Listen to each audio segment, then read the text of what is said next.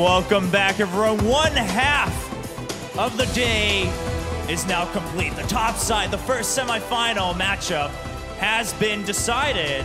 But now it's time to find out who's going to be on the other side. And for a lot of us here, and now I think having seen how you guys are for Lilbo, I think a lot of us are waiting for a certain somebody that we'll find that we'll get to watch at the very end of the day. But before that, a short tale this time for the third quarterfinal. Two Koreans now left here in the season three WCS finals. We've had Hydra now knocked out, and one more has to be knocked out as we have two of them going against each other. The first player I want to introduce to you, he has a little bit of encouragement now. We already had one player from Team Millennium just securing a spot in the semifinals. Who says we can't have two from the same team, trying to make a name and coming back once again in the season three finals. Ladies and gentlemen, I present to you 4GG.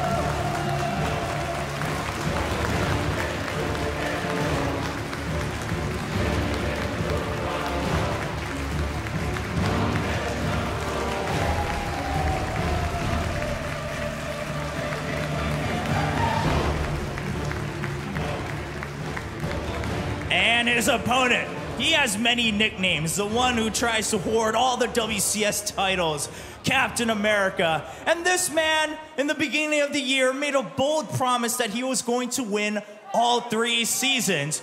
While that's no longer true after season two, he can still make up for it by trying to take another title here in season three. Ladies and gentlemen, I present to you Polt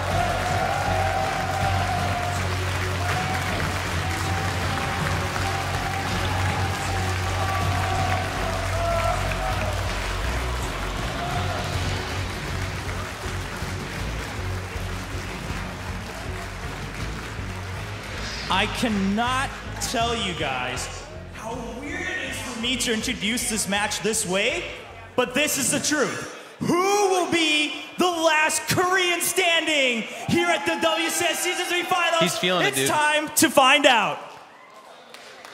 Thank you very much, Chobra. Terran versus Terran for the third quarterfinal of the day. Joining me on the desk this time is InControl, Todd, and Nathanias. Boys, we'll get to the game in a minute because I know Nathanias, you do have a lot to say with this Terran versus Terran matchup. The players are preparing and setting up on stage, and just like the other two quarterfinals, they had words to say to each other.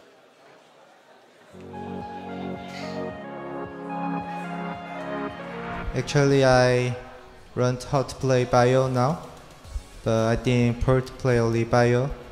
So uh, we will see. Well, everyone knows what I'm gonna do, but I don't know if I can surprise everyone or not. But I will see how good he is. Then, like it's best of five. I I have some times to figure out what I need to do. His strength is, in my opinion, unpredictability, kind of. I think his play very standard, and every time play very similar. So he's uh, if if going to play a late game, I think he have good chance.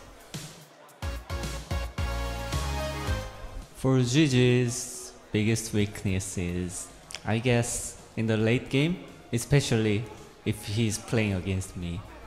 Some Hellions.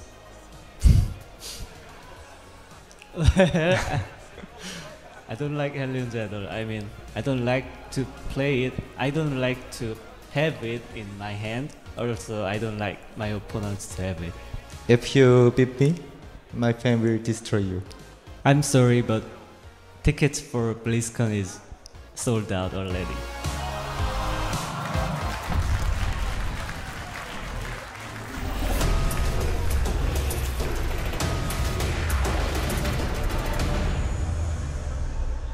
Similar to Lilbo, 4GG is fighting this weekend for a spot to play at the Global Finals. A spot to play at BlizzCon in just a little bit of time here, Nathanias, but he's got a lot work, a lot of work cut out for him against the three-time WCS champion.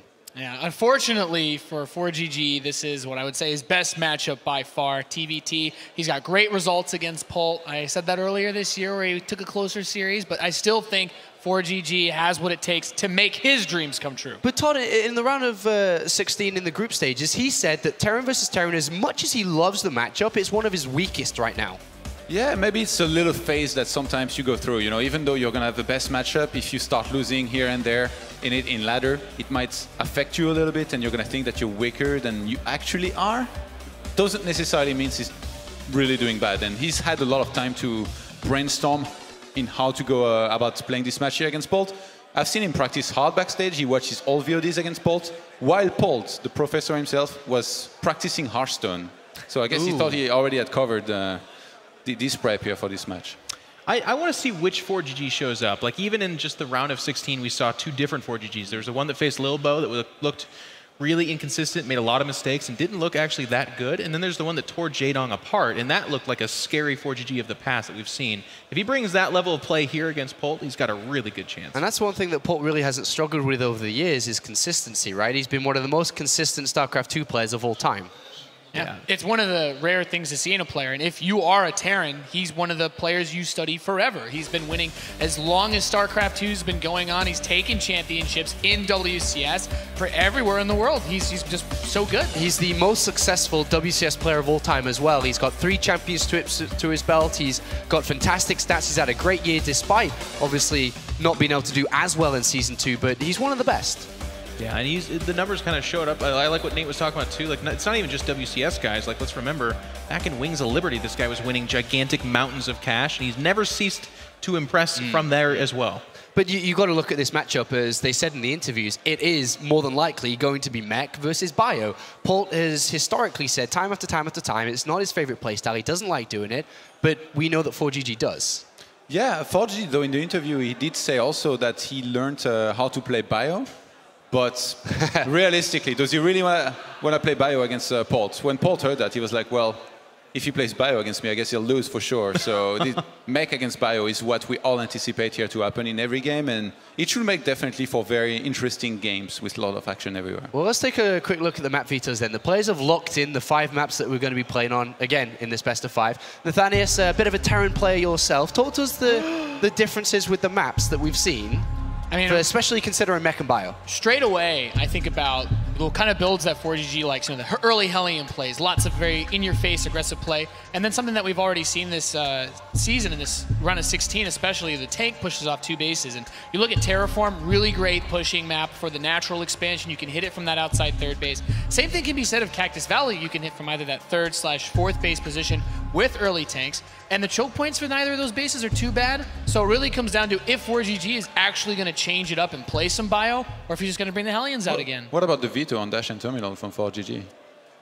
I think it's just a map you don't play that much, period. You know, that map also gets really scary. The thing about Dash, like, you can put by those rocks a tank and you block like three different areas. It's really scary for TVT. Moonlight Madness has made its way in. For the first time, Jeff Coda has been vetoed by Polt. It's a mirror matchup, but I mean, yeah, it, it, gets a little bit crazy there. There's back rocks on that map, so someone, hopefully in, in the Polt camp, yep. tapped him on the shoulder and said, now remember, there's back rocks in the back of your base because it seems to be kind of in his blind spot in the past. All right, so the first map between these two players is going to be Terraform.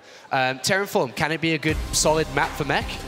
I think so. You know, the biggest thing to keep in mind is Polt will drop the you know drop all over you throughout the entire series. Probably a reason why I left uh, Moonlight Madness in. And for Terraform, the main base is very susceptible to that. 4GG, you'll have to be very careful about his positioning because I still think this is a highly aggressive map due to the cliff in the main base that you can jump up with either Reapers or drops and that siege tank position at the third base. How important are the openers going to be? Yeah, we always talk about, you know, like, I'm already imagining like five base against five base, but in terms of openers, can we see somebody getting shut down and demolished early on, or do you think these guys are good enough that nobody's going to take too much damage and we're almost always going to head into a longer game? I think both of these players are so solid in TVT that it shouldn't be one of those quick, you know, push and done type strategies. The more, both of them are more likely to open with something like a Raven and a Viking than they are to both go Banshee and try to kill each other very fast. All right, so uh, thank you very much, Nathaniel. It's time to look at the predictions, though, as you were leading the way as we came into the roundabout. I'm not sure if you're still on the top. I think you might be. I think uh, we've had a 50-50 vote so far, Whoa. but as you can see, it's four and four again between everyone. Everyone's split in half, Nathanias. Yeah, well, I want to uh, congratulate the other three men who decided to join me in being correct this time, Apollo, because Wow. 4GG is going to take it. And Colaris uh, uh, Rotterdam have joined you. Yeah, smart Why? man. Why? Why? Tell 4 me. TVT is 4GG's thing. And even on a bad day, you may think to yourself, I'm not quite so good at TVT. But if there's one thing that 4GG is good at, and I think Polt mentioned this in the interview, is the unpredictability. And Polt still has no idea what he's going to be up against in this best of You know what those guys are forgetting? What's that, This mate? is getting closer to the end of a tournament. And if there's Polt's one thing charging up. Polt's good at, it's dominating nerds, man. He's going to win this thing. You can see him pictured here, focusing. La- last season, though, didn't do as well as. Uh, Todd, that was last season. Get your It's a new season, Todd. God, Todd. you just said he always does well. That yeah, he includes does. last season, Jeff. He totally does, man. No. All right. Time for the game, boys. Thank you very much for your input, as always. And I hope you guys at home and in the venue are ready for this one. Terran versus Terran, just a three-time champion going up against a player in 4GG who wants to play at the global finals. What's up, guys?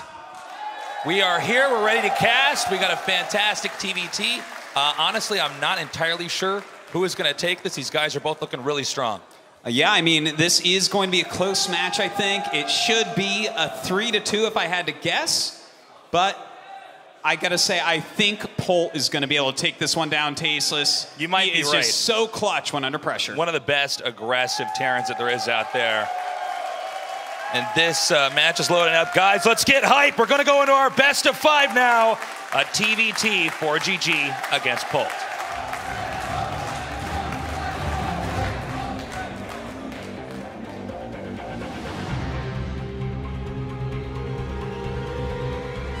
In the upper left, in the blue.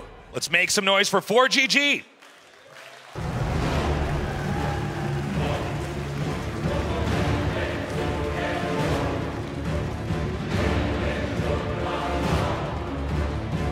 His opponent, a player who has already won $370,000 in StarCraft 2, make some noise for Polt.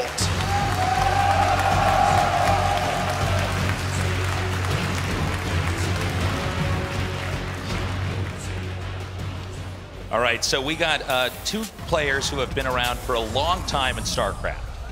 Uh, not That's just right. StarCraft 2, StarCraft 1 as well. Um, I like what they were saying at the expert desk. P- uh, Polt has been remarkably consistent compared to a lot of other Terrans. Oh yeah, this guy has been winning tournaments since the very beginning of StarCraft 2, and that's why, as I mentioned before, he is, I think it's fifth place overall in prize money in StarCraft 2 with uh, hundreds and hundreds of thousands of dollars won. You know, uh, Polt is a bit of a renaissance man. I mean, this is a guy um, who was dominating while uh, even going to school at the same time, Mm-hmm. going to the best uh, university in uh, Korea. So, I mean, it's, it's, it's a pretty remarkable thing.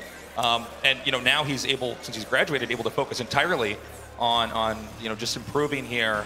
And I think he's got a very good shot. Now, here, here's something else to keep in mind. Polt's very aggressive Yes. uh, historically. Uh, he really knows how to get in there, and he'll oftentimes win just off two bases alone. But I do think 4GG is just as solid as Polt in the late game.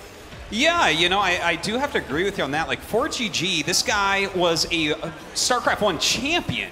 He was a fantastic player, had a hard time in StarCraft 2 for a little bit, but you know what? He did finally end up winning a big championship with the DreamHack Finals in last November, and here he is. He's looking strong, he's looking fantastic, but can he take out Polt and move to that round of four? That that is the big question here. It looks like we're going to have a Reaper build coming up here uh, for Polt, and over here it is also going to be a Reaper build. So it's it's basically mirrored at this point in time. We don't see any deviation, and that's important because in Terran versus Terran, there's a lot of ways to play that, despite it being a mirror matchup, and a lot of ways to get into the late game. And we've seen people that go for mech, they turtle up. Yeah. We've seen, uh, you know, the, the fusion style that's been very popular, which is bio with some tank, and then we've seen something that's a little bit outdated, but occasionally people throw it in there, which is just uh, much more bio and attempting to engage and win engagements there. And speaking of engagements, Reaper versus Reaper. Oh man, looks like Polt gonna be able to just get out of there with his Reaper. Course, 4GG gonna have to turn around. Not sure that another one might be coming right on the way. But uh, as you were saying, Tasteless, yeah, we, we definitely see both those different styles. And as we see here, they're already deviating from each other. 4GG grabs that second gas, being the player who really loves to use those high gas expensive mech units. Meanwhile, Polt skipping out on that second gas, most likely headed towards a bio composition. Polt now moving up ahead, and this is a great play to play on this map. You hide in the bush there to get the initiative, get the first shot off, but so far Polt's control very good. Keeps all three Oh my alive. God. It's so funny because strategically you look at that, and I like what 4GG was doing, but when you have to execute it, then Polt snaps uh, with beautiful micro, Yeah. just controlling everything. And I gotta say, Polt a little bit of a tempo lead here. Yeah, look, it- it- Polt since the beginning of StarCraft 2 has been one of the very best players with his micromanagement, with the control of his units. He just showed it right there. And that's part of the reason why he loves to go for Bio, because he can spread his units out and really get a lot of value out of them. But can he break through 4GG, who is such a solid mech player? Yeah, that, that's really going to be the big question. Also, it's really uh, important to keep in mind the way this map is shaped. There's so many ways to move around your opponent um, uh, and, and avoid them or counterattack them because this map has this kind of uh, crazy swirly shape here in the middle. And so that's something that uh, you want to keep in mind because if you're somebody who's very agile like Polt, it's going to be quite strong. But hold that thought. Coming up here uh, and chasing out 4GG. 4GG on the run. But probably going to go back into his main now. Oh, 4GG with some miss micro right there. Polt continuing to push forward, jumps up with the Reaper. He's coming up with his Hellions now as well. He has a big unit advantage. is coming out, but Polt gonna go ahead and fry him. Unbelievable. And it looks like Polt is such a calculated player. He does not overextend. He does not overengage. He keeps his lead. He backs up. And um, gotta say, I think that was fantastic play. Yeah, look, the reason why I'm really choosing this guy to be able to win this match is because of what we're seeing here. He is so cool under pressure. It doesn't matter what's happening in the game. This guy is going to put out his absolute best, and we already see him doing a great job. Yeah, a lot of focus, a lot of equanimity uh, you know, from Polt. Now we see the Banshee coming up here. Uh, oddly enough, it was the Hellions that uh, uh, allowed Polt to know ahead of time that the Banshee was there. He was hiding that to wait for Cloak so he could optimize the damage, but it didn't end up happening. Uh, however, Polt, uh, excuse me, 4GG is coming down now, and it looks like he wants to engage here in this expansion. It looks like a lot of Hellions coming in right now. Now, those SCVs going to have a very hard time. The Mule's being pulled as well, and it looks like he's going to get a nice advantage here with this Hellion attack. Nicely done here. This is a slaughter on the workers. I like the placement of the Banshee there as well in case SCVs did try to pull out and go into the main. Uh, he would be able to gun them down with that Banshee as well. So now Polt in a very defensive position in what has really been a seesaw game here. Uh, we have 4GG now coming in. And uh, he could do a lot of damage to the workers if he opts to go down there, and he's going to do just that. That's right. He picks off a lot of Marines now going towards that mineral line. Polt's starting to lose more SCVs. Already 17 falling to these Hellions. And it looks like he will finally be able to clean up. But in the meantime, a Banshee coming from the side as well. 4GG continuing to do huge damage. Oh my god, this is huge. He's going to be able to take out the reactor, uh, and that does go down. And he's not finished with his harass. We have some bruised SCVs now taking even more damage. And I got to say, that was definitely a great trade there for 4GG. Oh yeah, he is in an absolutely fantastic position here, having killed off that many workers. It is now 24 miners for 4GG, whereas Polt down to just 15. Yeah, beautifully done. Now, we do also have to factor in there are two orbitals here mm-hmm. for Polt, so he can be dropping mules, but that's still a pretty big lead. We only just now have the expansion starting to be made. It's not like he's landing it there. So that's a lot of time that potentially Polt could try to engineer some kind of counterattack. Well, we'll see what Polt can get done with that. You really don't want to take economic damage early on as the player who wants to go for Marines and Marauders. It takes a lot of minerals. You have to get your expansions up very quickly and really push your early game presence. But 4GG has done enough damage at this point that that's going to be very hard for Polt to pull off. 4GG now camping outside the expansion for Polt. Will he opt to go in here in a second? I mean, Polt, remember, he was mostly losing uh, workers on attacking units, so he still does have some defense. And actually taking out these tanks is brilliant. Uh, but of course, a scan would immediately destroy that Banshee. Yeah, it looks like the Banshee will go down. He did force a scan, which is nice, but Yeah, I'm a bit confused by that because I saw the Banshee come and I thought, oh, great, he's going to get the tanks. And then you look at that and you think, no, I mean, certainly that would be, be gunned down, but uh, Well, he, I think he was Questionable play there, Yeah, maybe just sitting there hoping that a scan isn't going to be used. You know, he hurt the economy so badly that Polt might be dropping extra mules, Oh, That's a very good point, energy. Artosis. I like that. Yeah.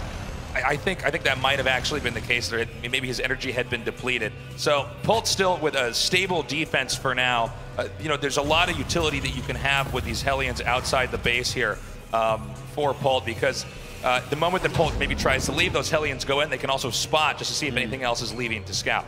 Well, right now we do have the Blue Flame upgrade coming for these Hellions. So they do more damage to those light units. Both players just kind of getting their army together into what they want at the moment. Their economies both kind of recovering from that early game, with 4GG finally mining from his expansion, whereas Polt catching up in SCVs almost at this point. Yeah, the game is beginning to stabilize. Now, when you're on two bases like this, especially after those engagements, it's going to be a little bit tough to actually attack into each other. So this is all uh, setting up for that third base play.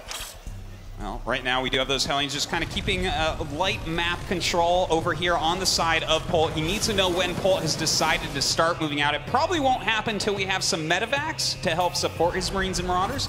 But when that happens, 4GG has to be ready to either do some run bys, pick off units on the way over, and of course, get into a defensive posture back at home.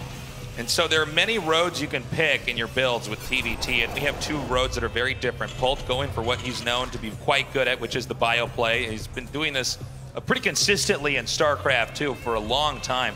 Um, and having a lot of success with it. Uh, now, a lot of people in theory believe that mech is better, uh, and 4GG is going for that route there. So, uh, we're going to have two different unit compositions, and how they're going to engage is going to be very important. Uh, also, factor in with mech a very uh, positional, uh, defensive style of play, at least early on.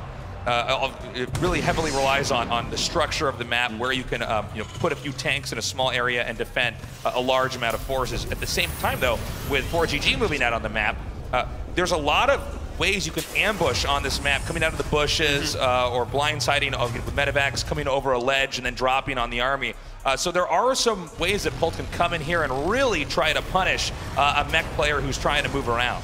Yeah, and you know, uh, right now 4GG has already built up a really healthy force of Vikings to try to patrol those skies and stop those drops. He does have nine already, which is a lot for this stage of the game, but that's what he needs to do because he knows that's what Polt should be looking to do. But as 4GG gets more and more spread out, Polt is going to be looking to find angles and areas where siege tanks and turrets just aren't covering. Oh, and this was the counterattack I was talking about, but completely denied there by a very good Wallen. Um, and so now it's going to be these Hellions trying to back up a scan here to survey exactly how much does he have, and he has a very good idea of that now, uh, as we have the Bio Army here of Polt moving out. Now, i i when it's mech against Bio, uh, the bio player has a little bit of a, of a tempo advantage early on. They're able to move around, they make a few more mistakes, where the mech player has to be pretty flawless. So uh, this is really the moment that Polt wants to seize on to try to utilize his unit composition.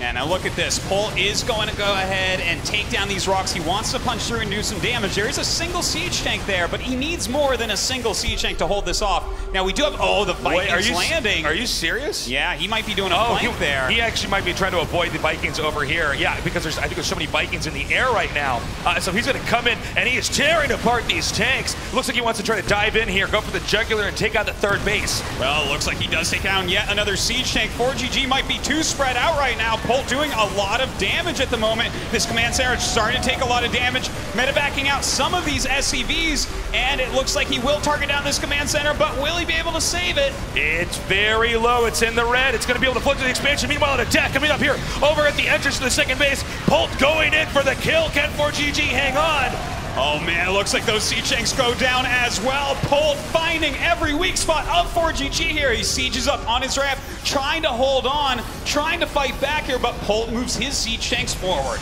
Let's not uh, forget here, it is possible to try to dart in there with the medevacs if the Vikings are out of position, maybe land on top of those tanks. That's the only thing that's really keeping them uh, in okay, uh, an okay position for this time being. Also important to note the tanks are hitting the gas, and when you're meching and you lose the gas, you can't make any of those meching units.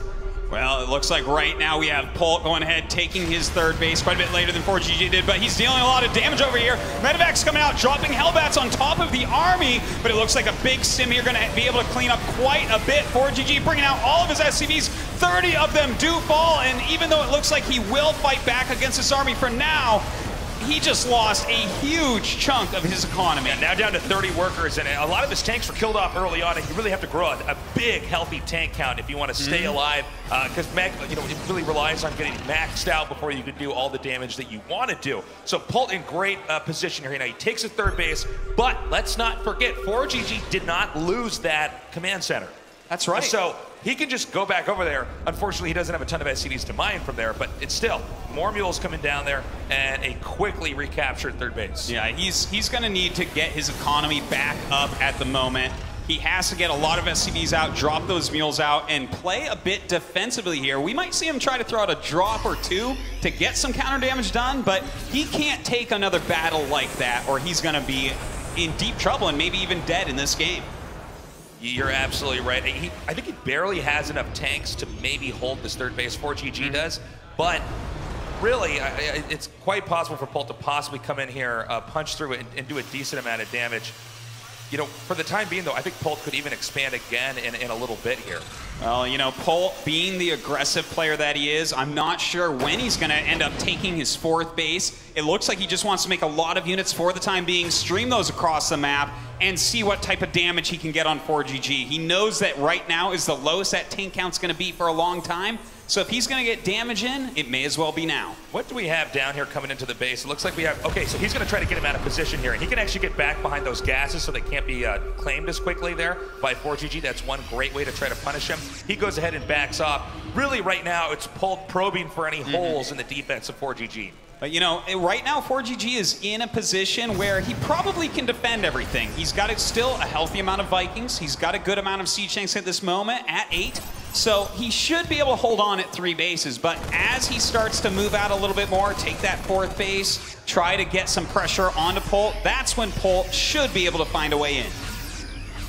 As you can see uh, from that beating earlier there by 4GG, he's just going to have to stay back. And the, the mech style now, uh, currently in StarCraft 2, which we see in multiple matchups, by the way, is one where you oftentimes just cut the map in half. You don't even really attack, and you rely on the range of the siege tanks to punish any middle expansions on the map.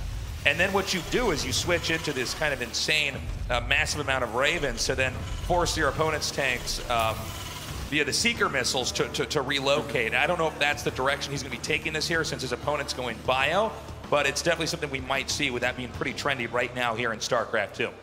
Yeah, well, we'll see how he wants to finish Polt off if he does live that long. And, you know, I think he's going to. If you look at these supplies, they're staying pretty even. Polt with a little bit of an advantage because he is on those biounits that make so quickly. But as we get closer and closer to that 200 supply, to that maxed out cap, that's when 4GG's army is going to become exponentially stronger. It's also important to note that, uh, you know, sometimes mech players have pushed out around the 150. We're a little bit beyond that, but he might do it still here. Uh, right now, Polt is completely equipped with this army in the bottom center to just go ahead and counterattack with that, and that's right there. You can see that at any moment, he's ready. So the, ma- the, the map is somewhat booby-trapped right now. 4GG attempts to play on it. 4GG may just opt to stay back here and keep building up, uh, knowing and believing that his unit composition is fundamentally going to be stronger because it's comprised of mech units versus bio units. But no, he's not going to do that. He's going to go ahead and push out here, see if he can't do some damage. Let's see if Polt goes for the counterattack uh, or if he just tries to engage this and surround it. All right, well, he does have a really great sensor power up, a lot of uh, turrets in his main base as well, so he's pretty well defended against any counterattacks at the moment. Starting to move forward here, a big stim by Polt, and we have Hellbats being dropped on top. Polt coming up with a smaller force from the bottom, getting on top of these siege tanks before they siege up, and Polt surrounding the mech army. Absolutely beautiful. Swallows up all those siege tanks, and now he's in a lot of trouble. 4GG just in, in a really difficult position. When you lose that many tanks, you're spending the whole game building that up. Uh, and I think now this may be the killing blow. He's going to come here, counter uh, uh, attack across the entire map. Not a lot of tanks to defend here, and it looks like Polt may be taking game number one. He may indeed. This is a lot of Marauders. It looks like he's trying to kill those tanks on the high ground. One of them does get picked off. A lot of Vikings landing off, but the damage output of this Bio Force is too much. And GG! Looks like Polt gonna go ahead and take game number one.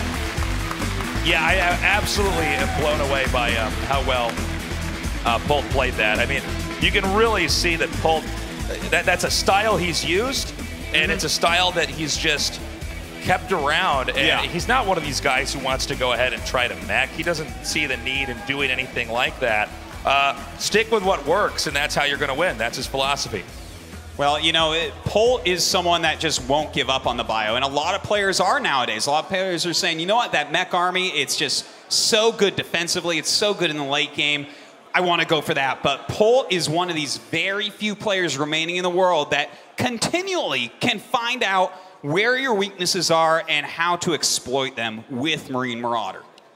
It's going to be interesting to see how 4GG adjusts because 4GG uh, did go for that mech style. Now, that's not the most modern form of the TVT mech style, but that is one we've seen uh, pretty much throughout StarCraft 2 as well, where you get ready, you get maxed out, and you push. One thing Point uh, Polt, excuse me, really exploited on that map was uh, there are these bushes that you can pop out of and, punish your Mm-hmm. opponent. And when we saw that mech army coming, he was already ready and in a good position. He came out there stimmed, um, and at the same time, he got that surround. I mean, if you're a mech player, you always want to fight in a valley. Mm-hmm. Uh, and if you're a bio player, you always want to fight in an open field. And it, what he did really effectively there is had one part of his army looking like it was in a nook, and therefore he you couldn't really, uh, you know, it couldn't possibly get to the back of the siege tanks. But Polt then came around from that. Yeah. It could have been an army that counterattacked, but then he looked at that, identified the movement, and said, "No, I can come in here and I can execute him in this moment." And you know what? That is uh, a map that can be tough to do that on, but he was really on top of his army movements. A, a fantastic flank, a huge concave for Polt, and that's really what sealed out game number one for him. So now we're going to be going to game number two. It's going to be on Cactus Valley. Uh, now this is a four-player map, so there are some uh, variables you want to factor in here. With you know, you can't do as many directly cheesy strats uh, by simply uh, you know knowing your opponent's starting location. However, I think this is a map that really I don't think favors a player. Do you? Uh, you know, it, it's hard to say you absolutely can play mech here, but Polt going to be very good on a giant map with his bio. We're going into game number two, 4GG against Polt. Down here in the bottom right, in the blue, let's make some noise for 4GG.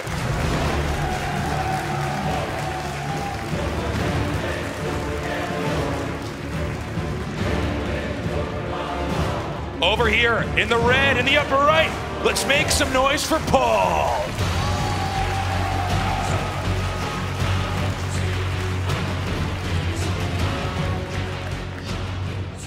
Alrighty, it looks like they are both hugging the right-hand side of this map, so they're a little bit closer than if they had been across the map. Definitely something to take into consideration. A 4GG push could go a little bit quicker up that right-hand side than across in cross spawns. Uh, but of course, Polt can kind of expand away from his opponent here, so uh, it could be hard to to really stamp out Polt's economy for 4GG. Yeah, it's going to be interesting. I'm, I'm curious to see if um, you know we have the same style of mech here from 4GG, uh, or if he even bothers to just maybe go for Bio. I think Bio is a risky move against Polt. Polt really. Yeah. I mean, we, when we were casting this guy in Korea, he was always this person that just got in there and did the damage. I mean, tactically, he is a genius. Yes, it, it truly. It, in a battle, Polt is going to come out on top against almost every pro gamer in the world. Uh, but as you said, like, will 4GG do something like go for bio? I gotta say, I felt like when I was watching that interview and just knowing these two players and having seen and watching cast them over the years, I think that was the biggest bluff of all time. I think 4GG has no intention of trying to go bio against Polt's bio, as Polt is just almost unstoppable when it's bio versus bio. Yeah, you know, on, on this map especially, uh, you know, in the center area, it, it's it's so open, right? And mech players don't normally get to control that tower in the middle either. It's it's usually much easier for the bio player early on, and so you can see this big open area that uh, you know the mech player really. Uh, can't move out there with his army, probably, possibly until he's maybe maxed out. Now, Yeah. they, they could try taking the path on the far right. Um, however, that allows the bio army uh, to then do a counterattack uh, into, usually with a drop, for instance, on this map, into the main for Polt. Yeah, while a mech player can win in some sort of base trading scenario, Sure. the bio player is going to be very fast about moving around, eliminating buildings, and they just always have more mobility. So that's something that he's going to have to watch out for. As we can see here, this game going on now, they're just getting the, the, the basic building blocks set up here. It looks so far like we're probably going to be seeing um, that, that, that basic Polt uh, bio style here. There's still uh, some chance, I think, that maybe uh, 4GG will, will mix it up. Sure, uh, it definitely is. Like right now, we don't see him taking a second gas, so it looks like he's going to basically focus on Hellions and Marines at the moment. Uh, maybe grab a medevac to go with that. And you know that's that's a fine opening as well. Though I, I still do think he'll probably go for uh, mech once again, but probably a quicker expansion this game. Yeah, I think you're correct. Let's see uh, early on here if 4GG can maybe poke some holes into Polt because uh, that would be one way to really get a leg up here, especially on a player who's so strong early on. If you can cripple them in any way, uh, it's definitely some way that you can get stability then in the mid game. Yeah. Well, Right now, the medevac is making plenty of Marines and Hellions being produced as well. Polt going to have his command center finishing up pretty soon, so you know he's chosen to get his economy going rather than more units, which is going to give 4GG a slight edge in this upcoming uh, attack that he's going to do. But if he doesn't do some significant Oh, damage, then it might not pay off. That was so beautiful. It, it was very subtle, but if you notice, 4GG ran away from that ledge so that the Reaper wouldn't be shot at from the low ground. Then he lets that up in there, and boom, guns down that Reaper. Now we have an attack headed directly for Polt's base. All right, that is eight Marines in a medevac, as well as three Hellions underneath. This is a very fearsome uh, force right now for 4GG. Coming up right now, sees Polt's expansion, going to drop out these Marines. A lot of pressure going on this command center. Uh, and right now, with the command center being upgraded, I mean, he's going to have to cancel that and, and, and, go back up. He can't possibly afford to lose the command center. No, certainly not. He is going to have to get that out of there. He's trying to wait for it to finish its transformation here, and the Hellions starting to come down, and he actually gets to take out two of the Hellions very quickly.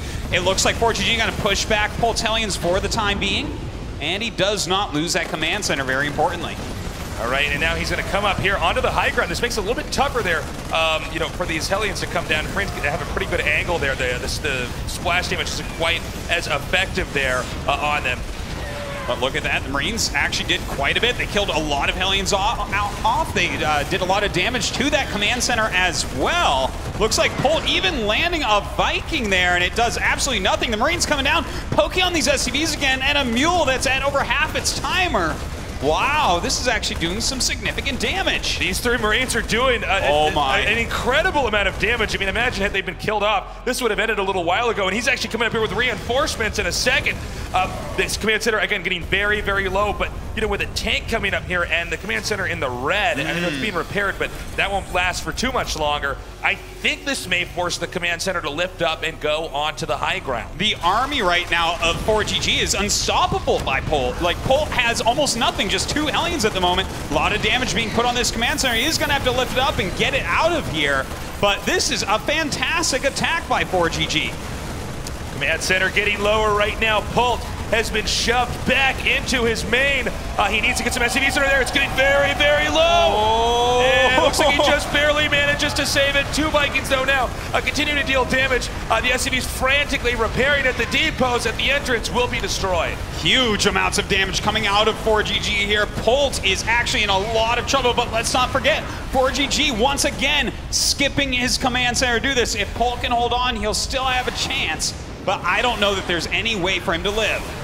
Yeah, I think that's the big question. This army is so scary. If he can just push up and get to where the production facilities are, the barracks, the starport, the factory, uh, that could be it. The SCVs are now being pulled. He's going to do everything to try to save this. Polt has to win this attack if this game's going to go on any further. The SCVs swarming out at the moment. 10, 11 of them already going down. 4GG pushing into this main base, and I think that this could be GG. Oh my gosh, he denies uh, cloaking with about two seconds of it actually finishing, and that's it. GG! Wow, well done by 4GG. A well executed and very technical rush. A great job right there. I love the fact that 4GG uh, did an aggressive build, trying to get into his opponent's face early on. I, I think, you know, you, I, uh, and Polt as well, and many of us probably watching at home, assumed that, you know, 4GG was going to stick with the mech style, and that was going to give Polt a lot more freedom in the early game. Yeah, you know what? Uh, these these early rushes. This is two games in a row that 4GG has decided to uh, put on so much of his economy into just making units, just going for that very powerful early attack. And I think that Polt has to look at that and say, okay, there's a pattern going on here.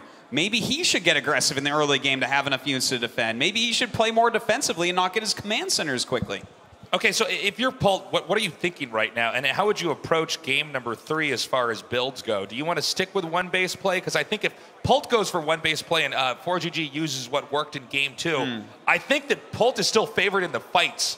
you know, he's very good in these skirmishes, Yeah. these tactical moments. If he has like the same strength army, I think that he might be able to out micro 4GG, but uh, the unit compositions that 4GG is going for in this early game are very difficult to deal with defensively. So he's got a lot of mobility to him. They're very fast moving across that map, and Polt's getting caught off guard a little bit. Well, we're going to be going into game number three very shortly here. Um, it is going to be the map Bridgehead. And this is a map where you can do some sneaky stuff. Proxies can be very strong on a map like this. Sure. Uh, and let's not forget those back rocks behind your back natural. Uh, that is definitely something that InControl was pointing out, and an area where Polt definitely can get in there and put a lot of pressure on. So if we go into the later game, there's a lot of avenues of attack for Polt to take out 4GG. Well, let's see what uh, what Polt and 4GG have in store for us. I mean, right now it's 1-1, so it's basically now we're, we're now we're in a best of three. Yeah. Uh, you know, so I don't know. Let's see what happens, guys. Let's get some hype in here. We're going into game number three. Polt against 4GG in a fight to get to the final.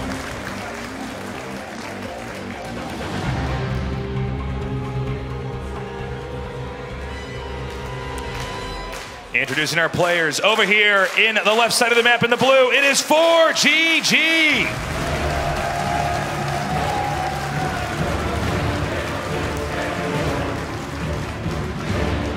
In the right, in the red, he is Polt.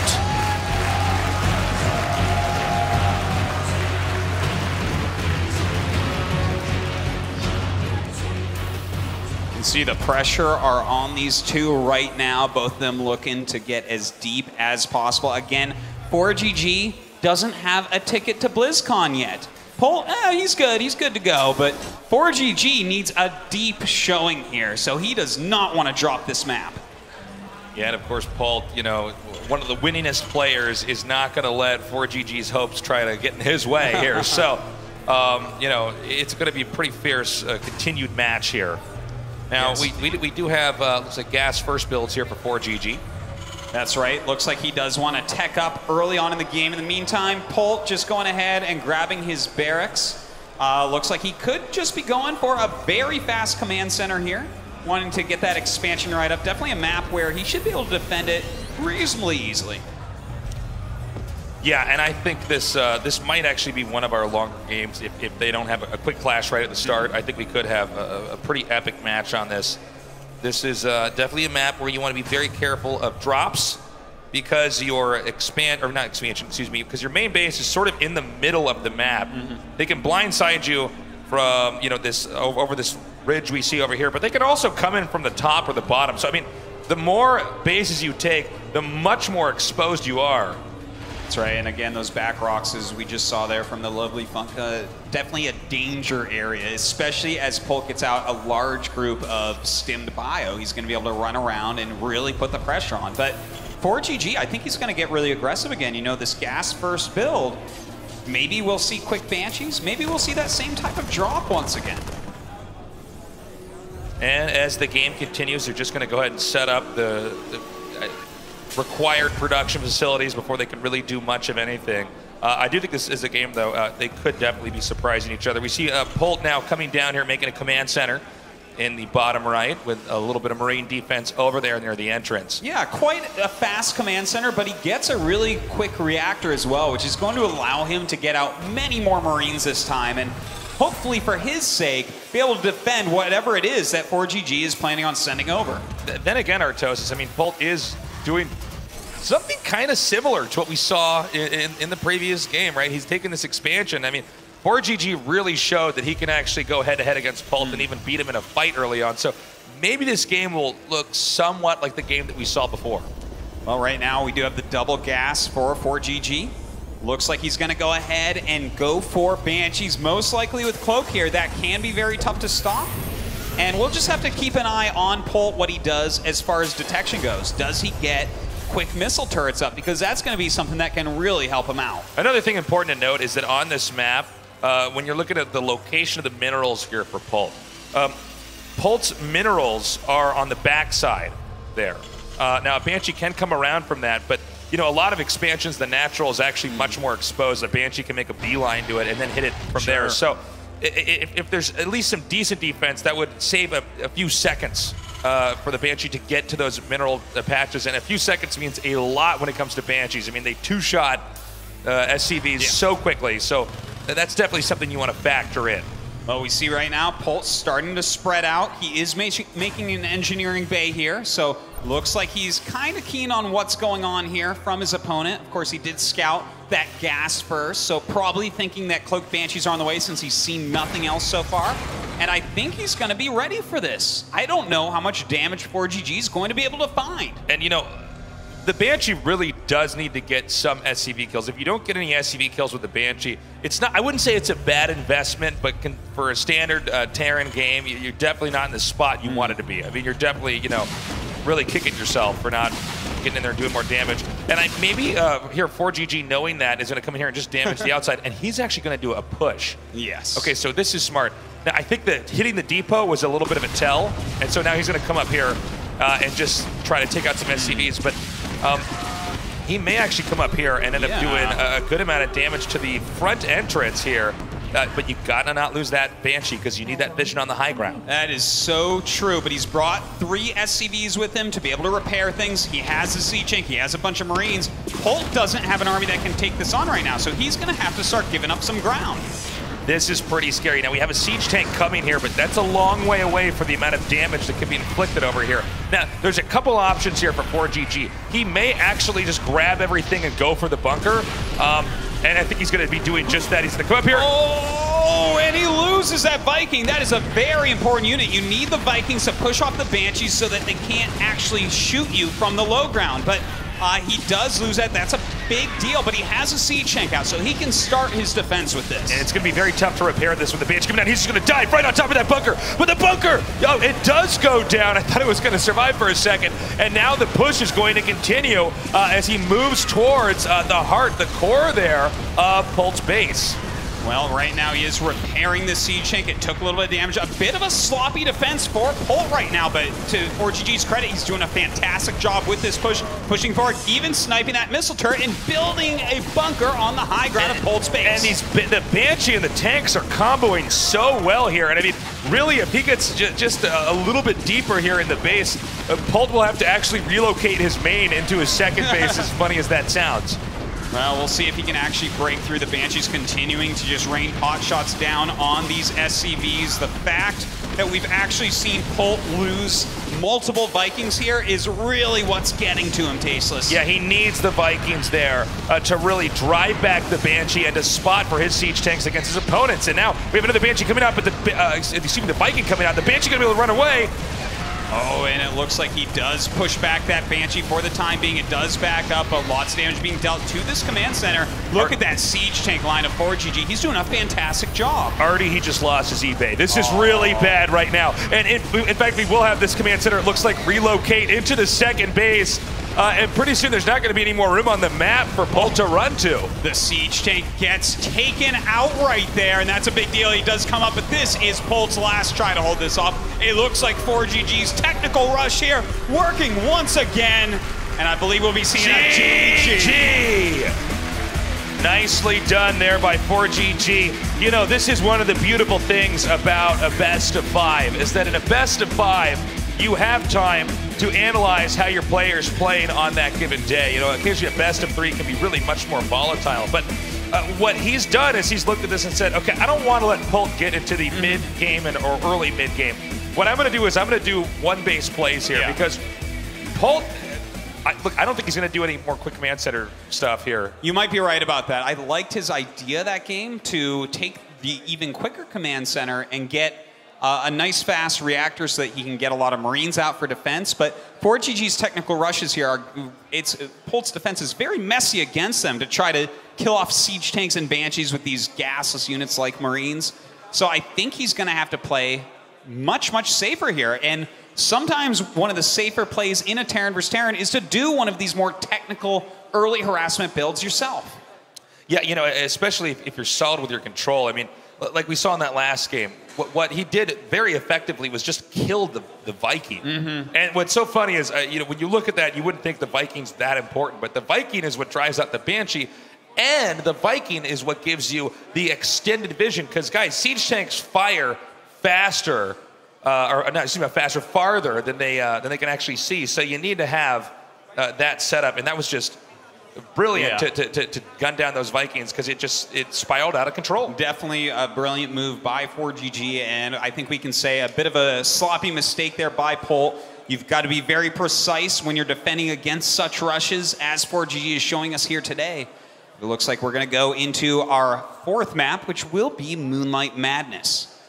All right, Moonlight Madness is loading up. Again, if Polt loses this game, his story is going to be ending here. How will he adjust his play? Can he keep his cool, uh, dial in that stuff he's had in the past, and bring us to game number five? We're going to find out. Otherwise, 4GG is going to take this.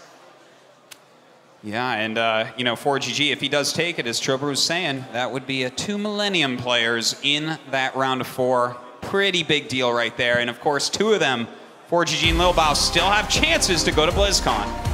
As you can see, Moonlight Madness, another one-on-one map. We have a lot of different things you can do in TVT to punish your opponent early on. You can proxy a Banshee, do all sorts of stuff. So the option for even more aggressive rushes um, and builds coming into this game are definitely a possibility.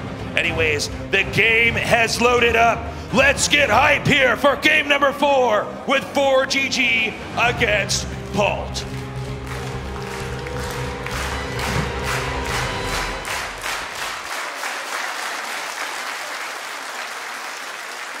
In the upper right, in the blue, he is 4GG.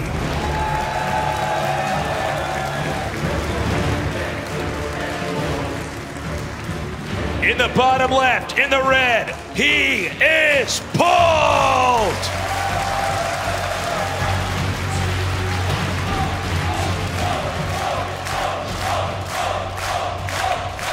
I think we have a lot of Polt fans here today. Well, I would love for this to go to game number five, so I cannot blame them. Indeed, I would love to see it as well. But as we see, the same types of openings from these two with 4GG grabbing a nice fast gas, but looks like Polt's going to get a gas as well instead of getting such a quick command center. So the big question right now is, it, does 4GG keep up with this aggression? I mean, I think Polt's really going to be frustrated if he loses, you know, three quick games in a row after having such a strong showing uh, in the first game. And you know, to be honest, even in that first game, he did take a lot of damage from the Hellion harassment, but was able to at least hold on here. Now, what has 4GG done different? He's brought stronger pushes. He's supplementing with Marines and Siege tanks, which have staying power as opposed to Hellions that just kill off economy. So E- I Even bringing love how he's SCVs in that game too. Yeah. I mean, uh, having the SCVs come out like that, that was that was phenomenal. Well, right now uh, we do have that factory, very fast one coming up from 4GG. A Reaper from both players now. Is Polt only planning on grabbing the Reaper, or will he go into a factory for his command center as well? We'll just have to wait and see. Again, they do know each other's starting locations here. Um, so you, obviously you got to be cautious. No, ni- neither of these guys are doing anything sneaky right now. Um, although I am, I am very surprised to say that it looks like Polt will once again uh, be getting a quick command center. What do you think, Artosis? Well, you know, uh, I, I'm interested to see what he does with it, like how he defends a bit better here, because 4GG obviously going to be going, tacking up quite a bit again, going into those cloaked banshees. But uh, you know, this is a map that we just don't see as much as these other maps. So it, it's, uh, you know, it, does Polt actually have the experience to hold on against something like this that 4GG has practiced so many times? Yeah, I mean that's a, that's a very good uh, point to make. Uh, you, you, experience is everything, and I mean I'm not worried about these two guys uh, with experience on stage, but yeah, I mean uh, different builds and maps. That's definitely something you got to factor in. All right, now we do have that factory coming up for Polt. Not just going to sit on Marines. Got to get his tech units out as well. In the meantime, we do have a tech lab being made. It looks like that is going to be going for Banshees over on 4GG's side of the map. Now, because the Reaper went around here for uh, for Polt, he went the long way. Uh, uh, 4GG making a beeline directly to the entrance. He might actually be able to deal a good amount of damage. And this will once again uh, be history repeating itself, at least in this series, with 4GG being able to get inside Polt's base and do a Oh, lot man. of damage. Two Marines gonna do nothing against this. Two more do pop out, but just a little bit late. Lots of damage being dealt here Oh by my 4GG. god, he didn't get the Hellion! He's gonna be going to where the SCVs are! Oh, this is a big deal. SCV's starting to be pulled against this. Some good micro, much quicker here are the units of 4GG. Two Marines are going to be popping out, but already SCVs are falling. And he's continuing to get more and more kills. The two Marines do pop out, but they can outmaneuver. Uh, the Reapers can outmaneuver those Marines. The Reapers now uh, circling around now, trying to do some more damage down here. Another Hellion is being sent down to reinforce with these two Reapers. Well, the Reaper's dealing huge amounts of damage. Seven SCVs already having gone down. And it looks like we do have another Hellion coming up, but it does get chased back. Finally, Polt stabilizes, but now he's down four SCVs. Yeah, 19 to 23, and it looks like 4GG isn't done quite yet. He's getting Banshees and he's getting Cloaks, so he wants to come in here and do even more damage too. Again, a fast expanding Polt here. Well, Polt is going up into Vikings, so that's definitely something that can help out, but he's got to be careful not to lose him like we saw previously. Just a little bit of a scuffle going on here between the Hellions. This is very subtle, but notice how smart this is. 4GG is going to look reduce the Marines. He's taking out Marines, or at least trying to, because he knows a Banshee's coming in here. So this is really sneaky stuff. Well, the Banshee coming in, wanting to pick off those really weak Marines, and in fact, uh, doesn't get anything quite yet, but that cloak is about to finish. Yep, about eight seconds away from completing. However, it will be zoned away. 4GG going to expand over this. And looks like he did chase him very far away and did a lot of damage before that cloak. Gonna go ahead and scan, and if he can get this, oh! A big moment right there, picking off this SCV right before the turret A finishes. 4 HP Banshee. He's going to have to get that other SCV before it finishes, and he gets that as Oh well. my, this is insanity. 4GG doing a great job with that first Banshee. Absolutely beautiful job there. And this is just the beginning. It's the second Banshee is now headed towards the main to see if he can do any more damage. Well, he does have a nice missile turret there. A few Marines and the Viking as well will push that back. But 4GG, he's going to continue to try to press in here and find damage anywhere he can. The second Banshee's now being chased out and once again manages to survive, but just barely. The expansion almost finished. We'll have the SCV transfer come down here soon for 4GG as he is going to just see if he can't do possibly some more damage. I don't know if he's going to give up on this push entirely. Oh, I believe he's going to go for a Hellion drop here. So the Medevac's actually going to meet with these Hellions. And I'm not sure if there's going to be enough uh, to defend this or if he's going to get, you know, he might get a lot of SCV kills. Yeah, does he even really know that this is coming? This is going to be really deadly. If not, it looks like he's going to go ahead and boost that medevac towards that main base. This could be a huge move. Polt has nothing to scout where he's dropping them off. They're coming down here, and he is none the wiser. They're barely now into the main. Many of these SCVs already bruised from the previous attacks. Oh man, and pull, pulls away as quickly as he possibly can, but lots of SCVs already going down right now. 11, oh my, look at this, he's down to just 21 workers. And you do not want to be this low this late in the game. I mean, just put it in perspective, it's 23 SCVs to 35. That's some serious catching up that Polt's going to need to do here. Yeah, the economy of 4GG just crushing Polt. Even his supply, look at this, he's got the map presence as well. He's got upgrades already going with that blue flame. This is really, really bad for Polt. One concept to really keep in mind here is when you are continuing to harass effectively, you're also looking for the bludgeoning play. Mm-hmm. You're looking for the moment where you just suddenly have too much and you go on there and you smash them. Yeah, it, it, you know, it's like winning by a thousand paper cuts. Eventually, Yeah.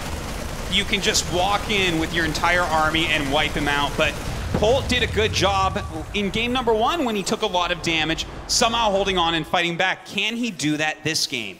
And again, 4GG, uh, just already getting a third base here. We see the armory was coming up, a huge explosion of factories. And, you know, something very, very important to really keep in mind here is when you're going for bio, I mean, your advantage is in the early game. That's where the control comes from. The fact that Polt already got beaten up in the early game, that means that 4GG can mech so comfortably. It should be so difficult for um, him to do anything at all to punish 4GG. Uh, Very, very true. Now look at this great move by 4GG, realizing he should have the Viking advantage, comes in, snipes one, gets out of there. Uh, Just great moves. He really understands what he's able to do because of that damage that you were talking about earlier. And you know, he's kind of he's got one of these leads in, in really every sense. Uh, and so now we see it looks like he's going to come back in here, uh, possibly. Um, We see the Hellions now tearing down these rocks over here uh, with right now 4GG surveying the rock uh, just outside the uh, the entrance of you know the main there, and he wants to have every opportunity to go in here and punish him. Again, Mm-hmm. Polt is going to have to be defending for several more minutes before he can get any kind of foothold into this game. Yeah, now, uh, let's let's be fair here. Polt still has a chance. When he gets his stim done, when he has a good amount of medevacs out, he can start poking around the map a little bit and seeing if anything's out of place. And if 4GG has not crossed every T and dotted every I, then he's going to start losing some of these very valuable mech units, and that's how Polt's going to want to come back into this game. I do wonder if maybe he could sneak up over to that top base. I mean, it is, it's it's not the farthest base away you could take, but mm-hmm. there's certainly a distance there, right? Although now that I'm saying that, I already see 4GG preempting any possibility of that by having depots there. Artosis, we're seeing Polt move out now. He's in this. He's close to the center of the map. Yeah, I think he really needs to move out at this point. He does have his stim upgrade all set. Pushing out right now. Let's see if he can get something done. The Blue Flame Hellions coming up on top of his entire army. CJ's coming as well. The Vikings are landing on top of everything Polt has. And while Polt is actually eliminating quite a few, 4GG has reinforcements and will end up winning the battle. You know, I was worried there for a second. I thought Polt might actually take that fight. He had such a good stim there. But with the two tanks coming up here, uh, it, it- there's no way uh, he's going to be able to do much of anything. Now, 4GG, knowing he's ahead and knowing he only has to play one uh, really solid game here to move on, he's just waiting for the vehicle weapons to finish up. He's waiting for some more tanks. You really want to have a certain degree of bulk in your mech army mm-hmm. because mech units by themselves are not actually that strong. Yeah, it, it really, your strength comes in numbers. When you have a lot of siege tanks and a lot of things buffering them, the damage output from such range is almost impossible to stop. But at this point, he's just making more and more units, knowing that Polt has lost a lot this game. 4GG is on three bases against a two base bio player. This Now- is every mech player's dream. Polt going for a drop here. Meanwhile, 4GG going for a killing blow into the entrance right now of Polt's base. We're going to have a lot of damage exchanged here very quickly. All right, looks like Polt deciding to try to harass where he knows his third base might be. He goes ahead, scans, sees where it is. But in the meantime, as you said, this could be a killing blow by 4GG, pushing forward. A lot of siege tanks here to help out. And because they're moving up in here now, I think this base is just going to be very vulnerable. I don't know if there's anything you can do. Yes, Polt is doing a good amount of damage to 4GG's other base, but I don't know if that's going to matter here when there won't even be an expansion remaining here for Polt. Well, Polt just lost a lot of his economy here once again for the third or fourth time in this game. 4GG still has a strong foothold right at his natural base. I'm not sure how Polt's supposed to break this. I don't know if Polt can. I mean, it, there's already a huge number of units now streaming down here. You can see Polt attempting to shut down the reinforcements. However, there's still already so much damage, and now coming here and sandwiching this with Vikings hitting the medevacs. That's going to clean up Polt's army over there. Well, looks like Polt will go ahead and be able to take off these siege tanks, starting to pick off a few here and there, but his supply has been doubled by 4GG, who is just punching in right now with these Hellions. 4GG looks like he may be able to take out Polt here.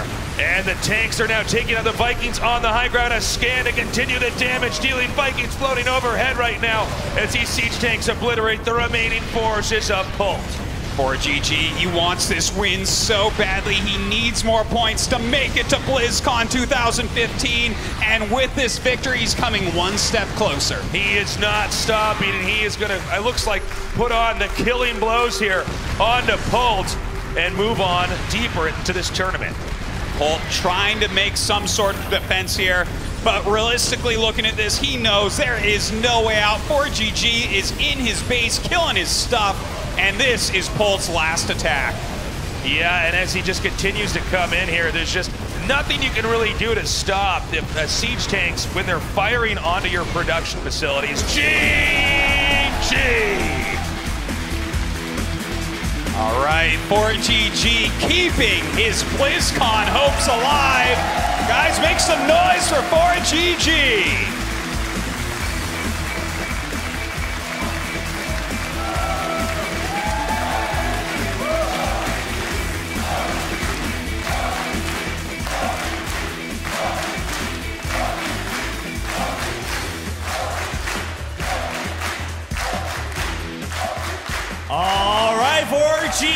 Takes the win 3 1, shuts down Polt. And let, us talk about that a little bit. A little bit of a revenge match for you, too, coming in here. Uh, how good does it feel to know that you've taken down both, proven yourself, and now going on to the round of four? Uh, I feel really good. Uh, I'm really happy because I lose against Port WCS season one, and same as round of eight, and I lose first map, and I think this is will be going to bed, but second map, third map, and last map uh, were very good play for me, and I'm very happy. Yeah, I mean, yeah, give him a round of applause. I mean, he deserves it after that one. I, I like how you mentioned that because uh, the casters were talking about it too. After game one, uh, some people were a little worried that, oh, Polt, maybe he's looking really good again, but then you you made the other three games look really easy. Is that is that a confidence boost going forward for the rest of the tournament? Uh, actually, first game, uh, I don't think he's played well. Just my micro very mistake. First fight, same unit, but just uh, I lose my Hellion. Second fight, also lose, and I just angry, uh, and I decide to some one base cheese uh, next game. Hey, whatever gets you the win. I mean, as a professional player, you got to respect that part. Now, it's also got to be exciting because, of course, right before your match, we saw Lilbo, your teammate, win his match with a reverse sweep. So now both of you guys still keeping your chances alive. There is a slight possibility that it comes down to you two in the finals, and one of you secures a spot in BlizzCon and the other doesn't. Are, even if it comes to that, are you just set on the fact that you have to win to go to BlizzCon? Yes, I will try to do my best.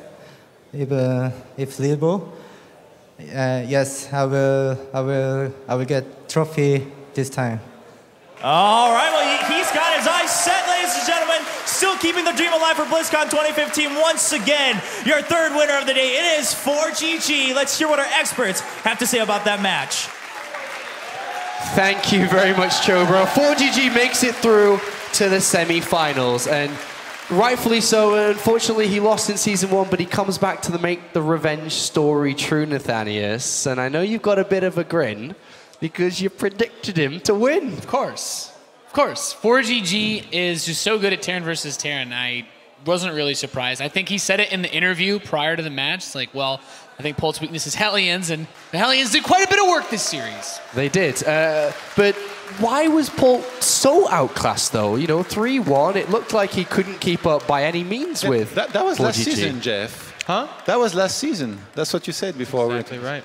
Some people are stuck in the past, like Todd, but uh, I felt like it was 4GG dictating the pace the entire time. Like I felt like Polt was always on the receiving end of what 4GG was doing to him. Like in the past. And what's that? Like in the past. Like last season. Like in the past, Todd. That's right history repeats itself here again. And I, I just, I, 4G looked in form. I mean, we kind of talked about this. It's like there's a couple of different 4GGs. He's really inconsistent, but so far he's picking up momentum. I mean, we saw a really good 4GG against Jaedong, and now he destroys Polt, your season one winner. We're going to have a new champion in season three. Yeah, it's, it's crazy to see that both the finalists are eliminated here in the quarterfinals. And we asked the question at the start of the day: Were we going to, you know, were we going to see a new champion? And a lot of people said, "No, I don't think so." But it's coming true. Yeah, not just that. Now, BlizzCon wise for 4GG and Lilbo, is a reality. The dream's alive.